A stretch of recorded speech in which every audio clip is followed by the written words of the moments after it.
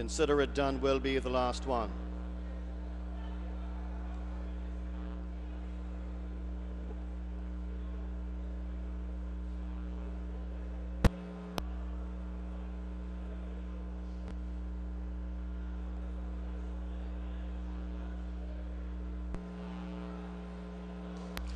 Ready for a stop, then straight away they're off. A nice beginning for Lady Marissa, widest of all, as well as Skylar's Goal. And Consider It Done is also showing good speed. Here is Messi against the fence together with Purple Touch.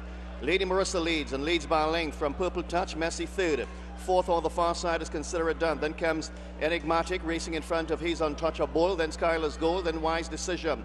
After Wise Decision is Star Dreamer. The back two at this time being Satya Treasure and Banana Chips. That's the feel as they move to the far turn and the leader is still Lady Marissa. She is now getting pressure from Purple Touch.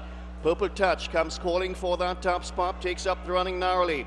Lady Marissa is now back into second spot. Third is He's Untouchable, and that one is racing on the outside of Messi. Then comes Enigmatic and Skylar's Goal. They turn into the home stretch now, and Purple Touch is the one to catch. Purple Touch leads by four. In second spot is Messi. He's Untouchable is back in third. The fourth horse is Lady Marissa. Satya Treasure is running on, but Purple Touch has just about 125 meters to last.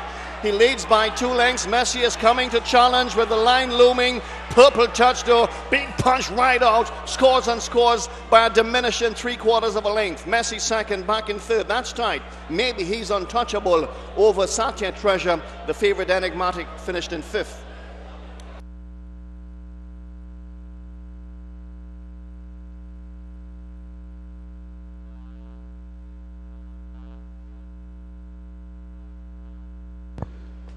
Stewards inquiry into the running of race number two. Please hold all tickets until this race is made official. Stewards inquiry into the running of race number two.